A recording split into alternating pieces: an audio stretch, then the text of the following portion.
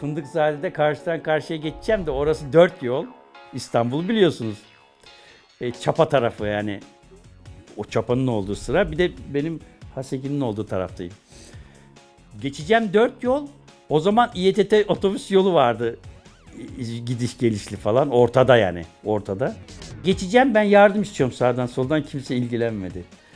Ya ben ne yapacağım ki? Orada duracağım mı? Tam böyle niyetlendim yola atlayacağım. Birisi şöyle sıvazladı kolumdan şöyle. Bir girdi şöyle. Diyor dedi hepten de karşıya mı geçiyorum ha? He dedim karşıya geçiyorum dedim. Te dedi beraber geçelim va. Geçelim dedim. Bir de aldık kıyamet koptu arabalarda. Hii, arabalar birbirine bindi. Biz otobüslere mi omuz atmadık? Ne yaptık yani? Nasıl oldu? Paldır küldür birinci yolu geçtik. Yüksek bir yer geldi. Çıktım yanımdaki de filan. Ulan arkadan kalabalık itekleyince biz otobüse çıktık. Bir basamak bir basamak hop şoföre kadar yapıştım ben.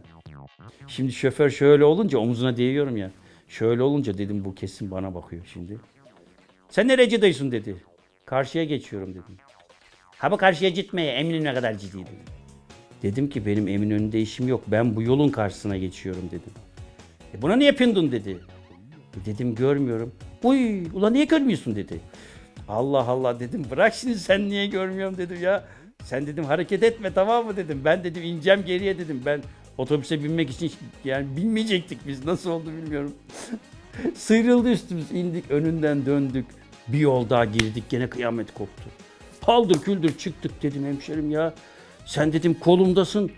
Hiçbir şey söylemiyorsun dedim ezdireceksin ya. Sen ne dedim böyle şey yaptın ya bizi. Korktum dedim ya. Etiye be abi dedi ben görmüyorum ki dedi. Allah senin dedim. Ben de görmüyorum dedim ya.